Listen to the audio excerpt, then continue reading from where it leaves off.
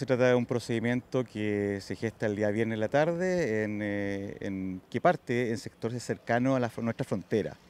En un bus eh, procedente de Bolivia se encuentra un horno industrial que está a mi espalda, eh, el cual es detectado a través de perro detector de drogas, ejemplares caninos, y también con, eh, elementos nosotros que tenemos que son elementos tecnológicos, como son los densímetros. Las drogas que encontramos, que se incautaron, estamos hablando de pasta base de cocaína, estamos hablando de clorhidrato de cocaína y también estamos hablando de marihuana prensa tipo creepy es una droga de origen colombiano, cinco veces más potente que la marihuana tradicional. Lo que quisiera destacar es que estamos realizando desde hace bastante tiempo eh, un trabajo conjunto con nuestras policías, con carabineros, con bueno, Policía de Investigaciones, con el Ministerio Público, eh, el Gobierno Regional, el Gobierno Central, eh, abocados a todo lo que se refiere al tráfico de drogas y al contrabando y otros delitos asociados. Estuvimos efectivamente hace pocos días en la frontera,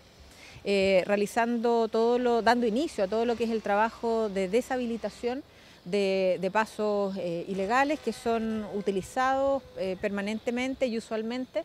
por personas que cometen eh, delitos de tráfico y de, contrabando. Efectivamente, los cinco fueron puestos todos adultos, fueron puestos a disposición del juzgado de garantía, la audiencia de control de detención, el día sábado por el Ministerio Público y todos ellos quedaron en prisión preventiva. Esa es una sustancia muy poderosa, eh, incluso ha sido eh, genéticamente eh, mejorada en cuanto a su grado de, fuerza, ¿no es cierto?, del tetrahidrocannabinol, que es la sustancia